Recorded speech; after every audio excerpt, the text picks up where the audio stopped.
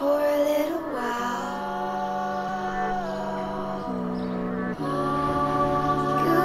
I've been on this trip three times, but this was by far the most insane.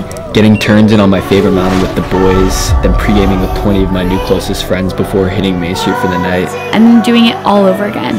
When Lifestylez comes to Breck, you know it's gonna be a good time. Here's a little taste of how the week went down.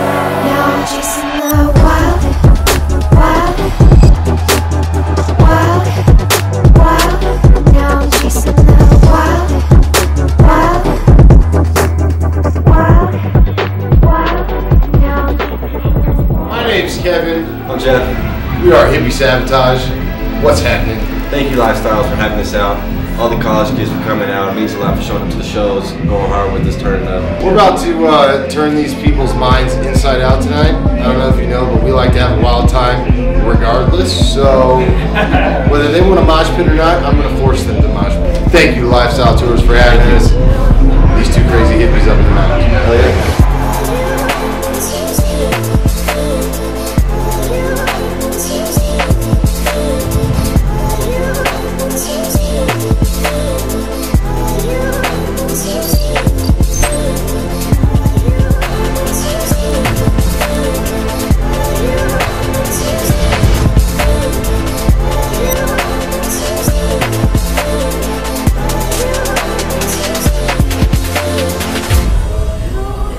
It was the fastest week of my life, and I'm ready to do it all over again next year.